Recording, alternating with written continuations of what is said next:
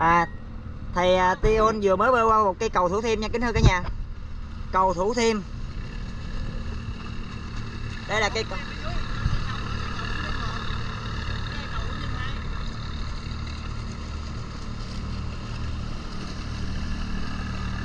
Củ thêm một là sau lưng mình, củ thêm hai là ngay đây. Bắt từ bên à, Bình Thạnh qua quận 2.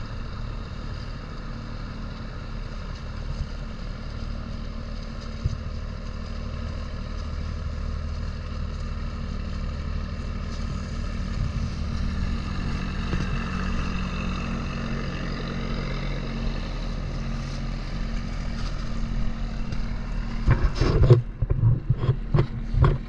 hai cây số bạn. hai cây số rồi nha thưa thầy.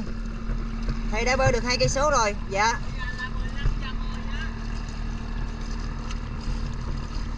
Hai cây số.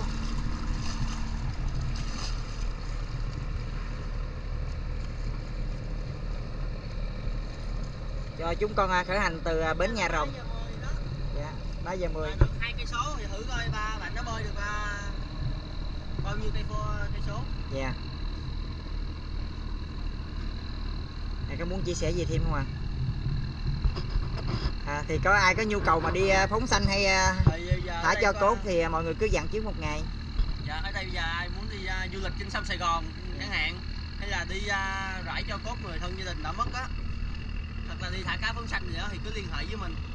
Mình ở đây là mình chạy trên à, sông Sài Gòn đoạn từ à, hầm Thủ Thiêm quận 2 còn nếu mà muốn đi du lịch thì lên à, dòng đỏ Honda Bình Quế hay là xuống cầu Phú Mỹ hướng à, cảng cảng cảng Sài Gòn.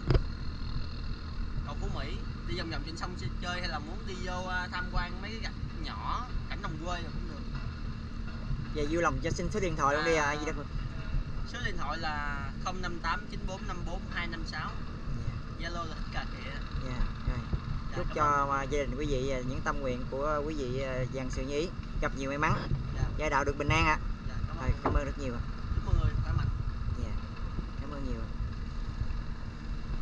Rồi chúng con à, cũng cầu nguyện cho quốc thái dân an thiên hạ được thái bình.